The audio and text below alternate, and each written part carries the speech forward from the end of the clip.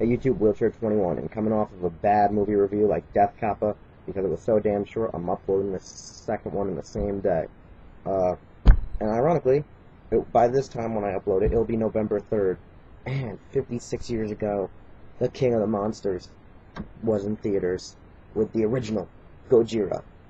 And this is no ordinary D- Doyle's DVDs, because in this episode, it's not just Gojira, it's Gojira Final Wars. Double feature, the original and the 50th anniversary. But, yeah. Ironically, the reason I wanted to do this because I have to mention the fact that at the very end of Death Kappa in the final fight, they fight inside of a wrestling ring like style because they have the little freaking power lines looking like it was a six-sided ring, like a TNA ring, and freaking Death Kappa hits an FU on the monster, and I just just sucked, and I'm gonna go on with Godzilla. The original Gojira. The classic. Yeah, not the one with Raymond Burr, not freaking Ironside, no, the original. Well, the original, let's just say, has to do about anti-nuclear war.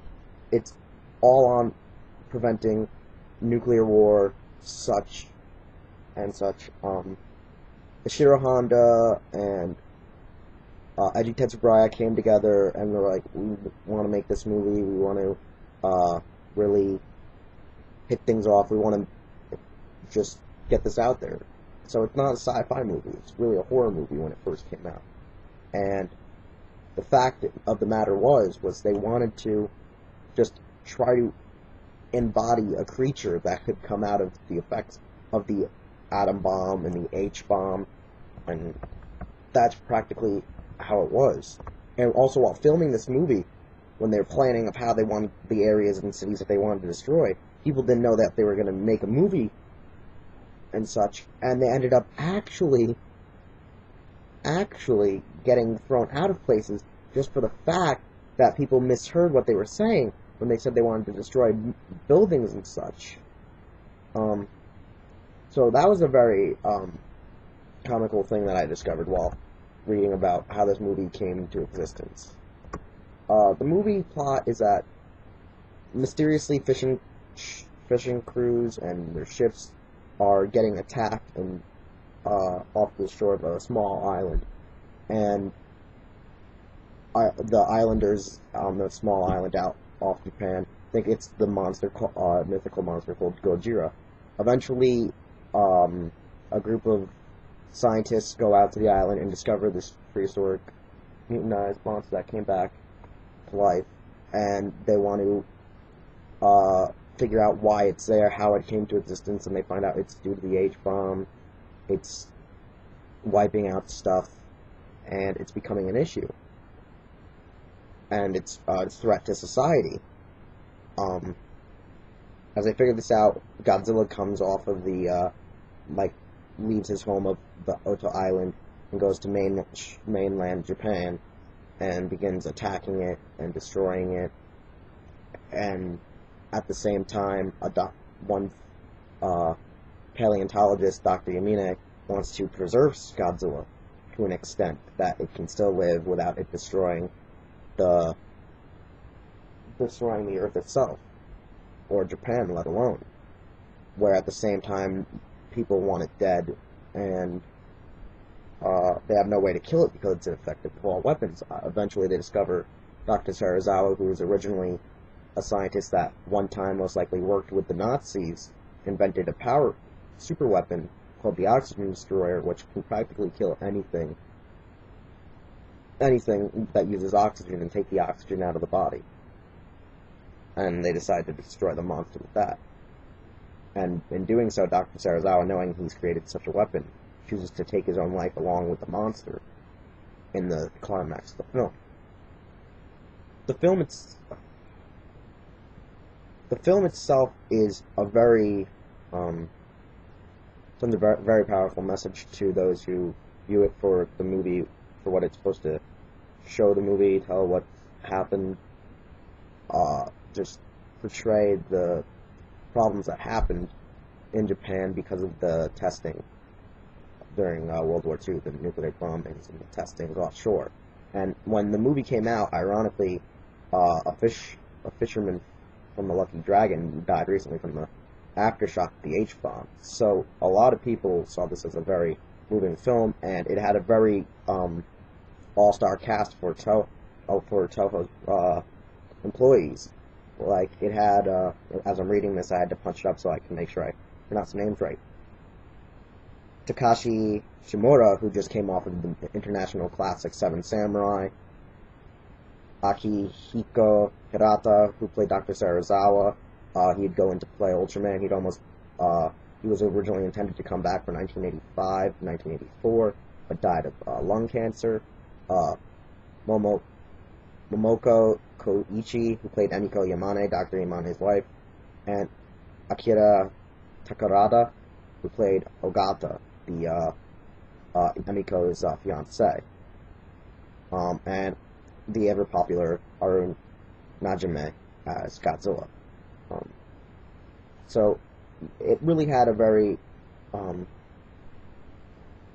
it just really was made to send a message and was never intended to have a sequel, even though at one point Dr. Wright says if mankind continues to develop weapons of mass destruction, another Godzilla may be awakened.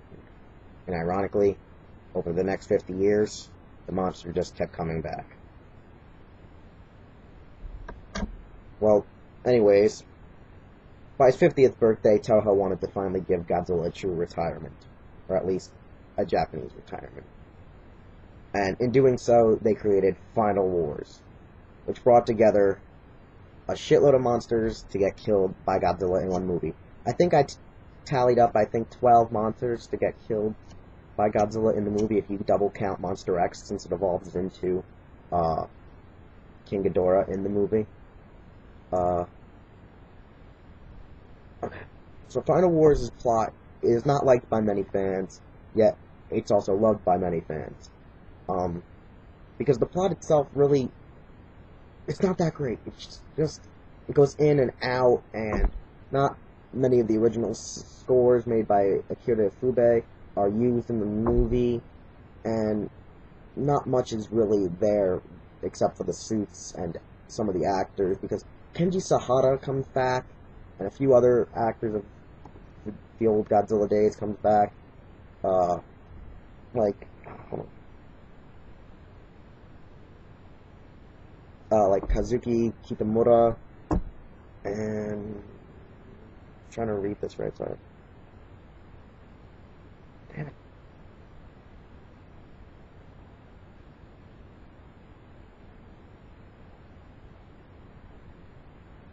I, I can't really make out the name right now because I can't figure out uh, the character because they just called their uh, General in the show, so I can't really remember her actual name. But she she was a previous Godzilla actor, actress in Godzilla movies. Um, Final Wars, its plot is that Exilians come to take over the Earth while monsters inhabit, inhabit it. Uh, Godzilla's been frozen for the past 50 years since its original appearance. Uh, and all hell breaking loose. Kakure Black got gone bad because he was a mutant that's now being controlled by the Exilians and all this weird stuff. It's like that Batra Mothra symbol symbolism is really Gigan versus Mothra in this one, and Anguirus and all these monsters are just pure evil and out to get Godzilla this time around. And this time, uh, Godzilla just goes through them, plows through them all, kills them, and then they find out that this Exilian mutant hybrid on Earth is going to become a super Exilian, and so he and the uh, Exilian have like this Dragon Ball Z like battle where they just beat the crap out of each other, and then Godzilla's beating the crap out of the monster. The monster evolves into King Ghidorah, and then the mutant gives its super energy to Godzilla to finish off the monster. Where now all of Earth's population is pretty much slimmed out. It's pretty much like Independence Day meets Destroy All Monsters meets Dragon Ball Z meets I don't know like other tokusatsu and that's what you get. You get this super crossover awesome film which is loved and hated by fans. I love it just for the fact that there's a 30 second fight between Zilla and Godzilla, the American version, and Godzilla just rips Zilla a new one while they play uh, We're All to Blame by Sum 41 in the background. A lot of fans love that part. Every fan loves that part about the movie but they just don't love the movie in general. It's about 50-50 from what I've found out, or at least uh, 45-55 percentage difference. Uh, it's a great one. The suits are magnificent for the movie. The special effects, um, in and out, go in and out. Uh, I mean, anytime that technically monster suits get burned, blown up, and bleeding, usually are good in cases as this movie had it. Um, some of the monsters brought back for the movie are kind of stupid. I can understand why they brought back Manda to fight uh, the uh, Tang and Tango, uh, Tango Gotengo. Uh, I could see why they brought in Mothra, Anguirus, and Rodan. I don't understand why they brought back King Caesar. I don't understand why they really brought back Macrus and Kumonga, except that they're easy kills for Godzilla, Ebirah, another easy kill. Hedorah, I don't understand where the hell Hedorah even came out of, but you could see since the Earth is now like futuristic slightly that you could see that sludge monster coming back.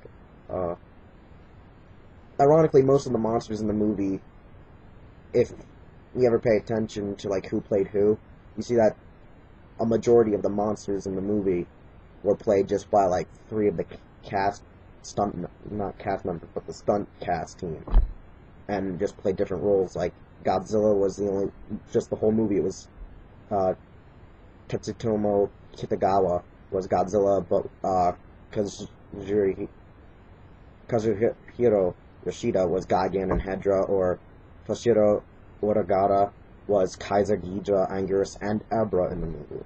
So, I mean, these guys were issued multiple roles, meaning they had to go through a lot more than regular uh, cast members had to most likely go through for their special effects fight scenes and such.